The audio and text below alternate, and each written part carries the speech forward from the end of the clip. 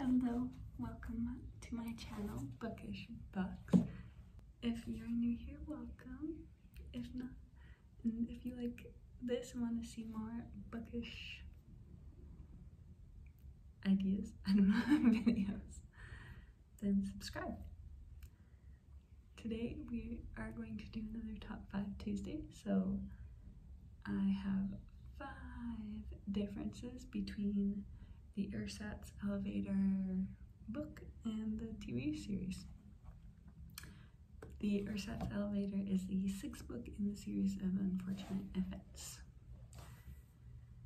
So the first difference that I came across, or the first one that I want to share, is that in the book, each of the children had individualized rooms fit for their personalities when they got to um, Jerome. Jerome made them their rooms, designed their rooms for them, which was like was really special.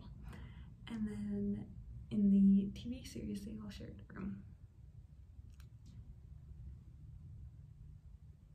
And then the second one that I want to talk about um, in the book, they're searching for Gunther in the apartment and they're using breadcrumbs to mark, like, show the path that they went on. In the TV series, they're not looking for Gunther, they're looking for the Quagmires and they're um, Violet's walking around putting X's with chalk on it and Olaf erases them obviously.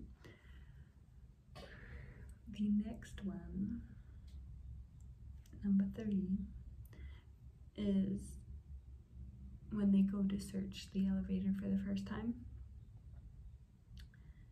Um, in the book, Violet uses ties, cords, and curtains to create a rope so that they can climb down.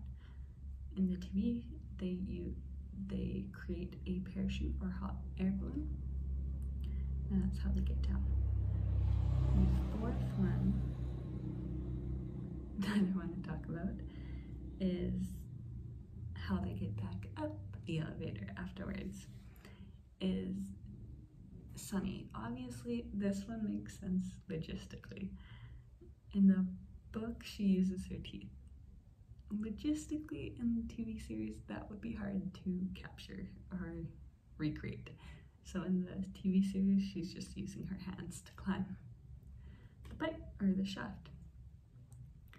The fifth one that and last one that I want to talk about was who was bidding on the red herring. In the book, Mr. Poe is bidding on it and almost leaves the Quagmire and in the TV series, Mr. Poe arrives too late to bid, and it leaves Jerome who is bidding. So, those are your five differences for today. Thanks for watching.